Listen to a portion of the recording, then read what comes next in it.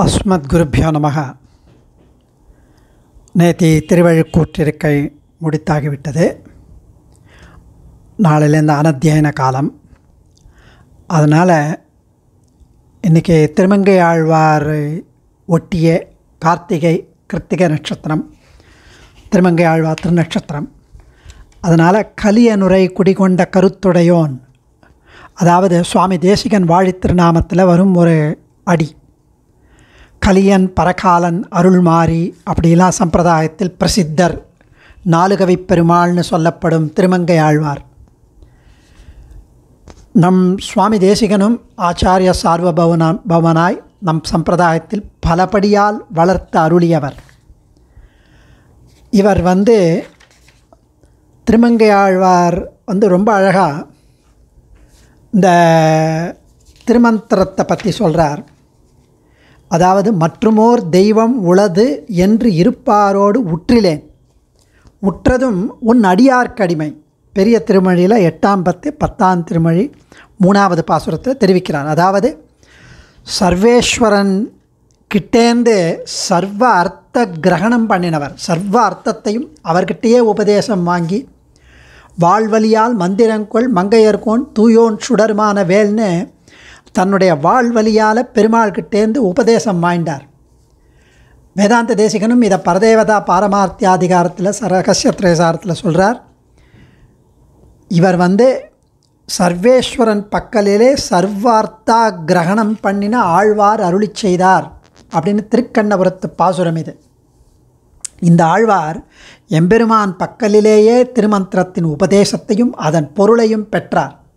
அதனால்தான் சர்வார்த்த கிரகணம்னு தெரிவிக்கிறார் பரதேவதா பாரமார்த்த அதிகாரத்தில் நம் தூப்பல் பிள்ளை. இதனை மூலமந்திர அதிகாரத்திலையும் ஆச்சாரியரே வேதாந்த தேசிகனே இந்த மந்திரத்தை திருமங்கை ஆழ்வாருக்கு சர்வேஸ்வரன் தானே உபதேசித்தான் என்றும் இன்னும் ஓரிடத்தில் இம்மந்திரத்திற்கு திரஷ்டாவுமாய் தேவத்தையுமாம் ஆனவன் பக்கலிலே இத்தை சார்த்தமாக பெற்ற திருமங்கையாழ்வார் திருநெடுந்தாண்டகத்தில் சொல்கிறார் அந்தனர் மாட்டு அந்தி வைத்த மந்திரத்தை மந்திரத்தால் மறவாது என்றும் வாழ்தியேல் வாழலாம் மடநெஞ்சமேன்னு தெரிவிக்கிறார். அவர்கிட்டேருந்து மந்திரத்தை உபதேசம் பண்ணவர் மட்டுமல்ல அந்த மந்திர தேவத்தையே அவன் மந்திர தேவத்தை கிட்டேருந்தே மந்திரத்தை உபதேசம் வாங்கினதுனால அந்த அர்த்த கிரகணத்தை கரெக்டாக பிடிச்சுட்டார். நீ அதுக்கு திரு திருமந்திரத்துக்கு எந்த அர்த்தம் இருந்தாலும் எனக்கு வஸ்தி உற்றதும் உன்னடியார் கடிமை. பாகவத சேஷத்துவம் தான் top it all top of all அர்த்தம்ஸ் அப்படின்னு தெரிவிக்கிறார். அதே மாதிரி எம்பெருமான் திவ்ய ஆத்மஸ்வரூபம் திவ்யமங்கள விக்கிரகம்னு ரெண்டு இருக்கு. அதாவது திவ்ய ஆத்மஸ்வரூபங்கிறது பெருமாளுக்கு ரூபம் வடிவம் தோற்றம் விக்கிரகம் இதெல்லாம் நமக்கு புலப்படும் திருமேனி அவயவங்கள். பெருமாளுடைய ஸ்வரூபங்கிறது அவனுடைய நேச்சர் அந்தர்பகிஷ்ட சர்வ வியாபிய நாராயணஸ்திதான்னு அவனுடைய தன்மை இயல்பு ஞானத்துவம் அனந்தத்துவம் ஆனந்தத்துவம் அமலத்துவம் இதெல்லாம் அவன் ஸ்வரூபத்தை நிர்ணயிப்பவை. இது வந்து இந்த இந்த திவ்ய ஆத்மஸ்வரூப ஸ்வரூபம் வந்து அது வந்து எங்கும் பரவியுள்ளது. அது கண்ணால் எளிதில் காண முடியாது வேற இந்த திவ்யா திருமங்கை ஆழ்வார் வந்து திவ்ய ஆத்மஸ்வரூபத்தை உபேட்சித்து அதை வந்து ரிஜெக்ட் பண்ணி திவ்ய மங்கள விக்கிரக அனுபவத்திலே நாட்டம் கொண்டார். திவ்ய மங்கள விக்கிரகம் அப்படின்னா அந்த ரூபம் அந்த வடிவம் அந்த தோற்றம் அந்த விக்கிரகம் அந்த கல்யாண குணங்கள் அந்த திருமேனி அவயவங்கள் அதை தான் அவர் எடுத்துட்டார். இது எப்படின்னா அவர் வந்து ஏறார் முயல் விட்டு காக்கை பின் போவதே அப்படின்னு ஆழ்வார் வந்து தேகாத்மவாதிகளாக ஆகிவிட்டாராம். தேகமே ஆத்மா அப்படின்ற நம்பிக்கையில் அதாவது எந்த தேகமே பெருமாளுடைய தேகமே பெருமாளுடைய பரமாத்மா திவ்யாத்மஸ்வரூபம் அப்படின்னு அவர் எடுத்துண்டு இதை வந்து உத்தமூர் சுவாமியும் ஒரு தடவை காலக்ஷேபத்தில் சொல்லியிருக்காராம். அதாவது ஏறார் முயல் விட்டு காக்கை பின் போவதே அப்படின்னு திருமங்கை ஆழ்வார் சொன்னதை வந்து பரவாசுதேவ ரூபத்தை விட் காக்கை என்றும் இந்த இந்த திவ்யாத்ம ஸ்வரூபத்தை ஆழ்வார் குறிப்பால் பரவாசுதேவ அதாவது அர்ச்சாவதாரம் வந்து முயல் பரவாசுதேவ ரூபம் வந்து காக்கை அப்படின்னா யூஸ்வலாக ஆழ்வார் குறிப்பால் உணர்த்தியது போல திவ்ய ஆத்மஸ்வரூபத்தை காக்கை என்றும் திவ்யமங்கள விக்கிரகத்தை முயல் என்றும் அனுபவிக்கலாம் அப்படின்னு உத்தம சுவாமி ரொம்ப அழகாக அதை தெரிவித்தாராம். இதையே சுவாமி வேதாந்த தேசிகனும் அதாவது திருமங்கை ஆழ்வார் வந்து காஞ்சி ஸ்ரீ தேவாதிராஜனை தமது தியானமூர்த்தியாக எப்போதும் கொண்டுள்ளவராம். திருக்குறுங்குடி எம்பெருமானை பாடும்போது கூட அதாவது பெரிய திருமொழி ஒன்பதாம் திருமொழி அஞ்சாவது பத்து பத்தாவது பாசுரத்தில் ஷற்றவன் தென்னிலங்கை மலங்க தேவர் பிரான் திருமாமகளை பெற்றுமென் நெஞ்சகம் கோயில் கொண்ட பேரருளாளன் பேசும் பெருமை பேச கற்றவன் காமரிஷீர் கலியன் கண்ணகத்தும் மனத்தும் அகலா கொற்றவன் முற்றுலகாளி நின்ற குறுங்குடிக்கே என்னை உய்த்திடுமின்னு திருக்குறுங்குடி எம்பெருமானை பாடும்போது கூட தனது ஆராத்திய மூர்த்தியான பேரருளாளனையே பாடி அருளுகிறாராம் அதாவது என் நெஞ்சகம் கோயில் கொண்ட பேரருளாளன்.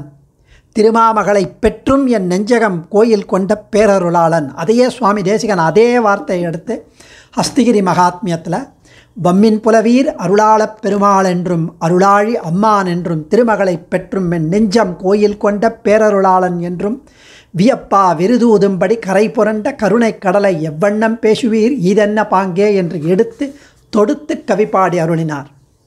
அது இல்லாமல் வரதராஜ பஞ்சாசத்திலையும் அதை தெரிவிக்கிறார். பதினேழாவது பாசுரத்தில் விஸ்வாதிஷாயி முகரூப யதாத்மகஸ்துவம் வியக்திம் கரீஷ கதயந்தி ததாத்மிகாம் தே ஏதாதிரோகதி மதிஸ்துவதுபாசக பாசகானா சாக்கிம் துவமேவ தவவேதி நி விதர்க்கடோலாம் அப்படின்னு திருமங்கை ஆழ்வார் சொன்ன அந்த ஏறார் முயல் விட்டு காக்கை பின் போவதேன்னு சிறிய திருமடலில் சொன்ன அதே அடியை கொண்டு இவரை தேகாத்மவாதிகளைப் போன்று அருளி செய்தார் வேதாந்த தேசிகனும்.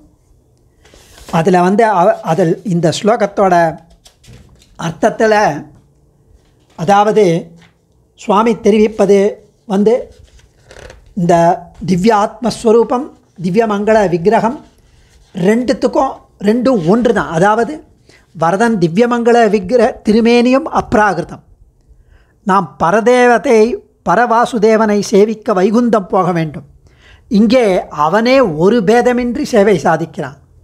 அவன் சௌலபியத்தால் பரத்துவத்தை மறக்கிறது தப்பு. ஆனால் யோகிகள் தியானத்தில் அந்த திவ்யாத்மஸ்வரூபத்தை அனுபவிப்பது போல் நம்ம அருளாளர் தாமனினும் தமக்கொவ்வாரேன்னு சுவாமி தீர்ப்பு. வைகுண்டநாதனும் வரதனுக்கு ஈடாக மாட்டான். அவனும் அருளாளன்தான் அப்படின்னு தெரிவிக்கிறார்.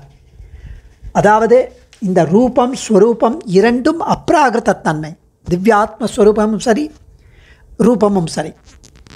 முதலாவது அந்த திவ்யாத்மஸ்வரூபம் மனத்தால் அனுபவிக்கத்தக்கது. ஆனால் ரூபம் கண்ணுக்கு இலக்காவது மனத்தாலும் சந்தோஷப்படுத்துவது.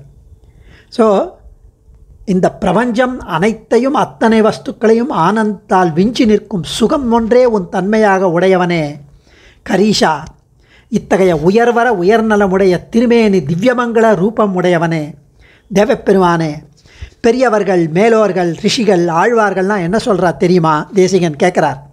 உன் ஸ்வரூபம் எந்த ஞான ஆனந்த மயமாக இருக்கிறதோ உன் திவ்ய ஆத்மஸ்வரூபம். அதே போலத்தான் உன் தி ரூபமான திவ்யமங்கள விக்கிரகம் கூட. தெரியுமா? என்ன விளைவு தெரியுமா அதில்? உள்ள அந்த தியானம் செய்து மனத்தில் அசை போடும் முனிவர்களுடைய புத்தி உன் திவ்யமங்கள விக்கிரகம் நீதானா அல்லது உன்னுடைய திருமேனியா என்ற ஆராய்ச்சியில் இறங்கி அவர்கள் மனம் ஊசலாடும். நீதான் திவ்யமங்கள விக்கிரகமா அல்லது உன்னுடைய திருமேனியா அப்படின்னு. அந்த ரூபம் விக்கிரகம் ஞானானந்த ரூபகம். அதாவது விக்கிரகம் நீ நீ வந்து இந்த இந்த விக்கிரகம் வந்து நீயே தானா இல்லை விக்கிரகம் உன்னுடைய திருமேனியா? அப்படின்னு. ஏதே ஒன்று சரி என்று முடிவு செய்ய முடியாது. ஒரு சமயம் வரதனின் இந்த திவ்யமங்கள மூர்த்தியே வரதப்பெருமாள் தான்.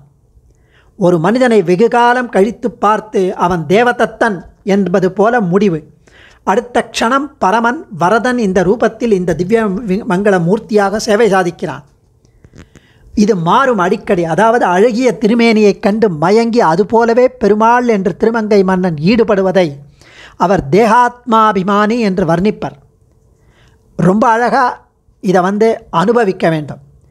பெருமாளுடைய திவ்ய சௌந்தரியத்தை திவ்ய தேசங்களில் பாடி பாடி தொழுது தொழுது அனுபவித்தவர் பரகாலம் அதே வழியில் அனுபவிப்பவர் வேதாந்த தேசிகன். அதனால்தான் கலியன் ஒலி கலியன் உரை குடிகொண்ட கருத்துடையோன் வாழியே அப்படின்னு தெரிவிக்கிறார். அடியேன் ஆழ்வார் திருவடிகளே சரணம்.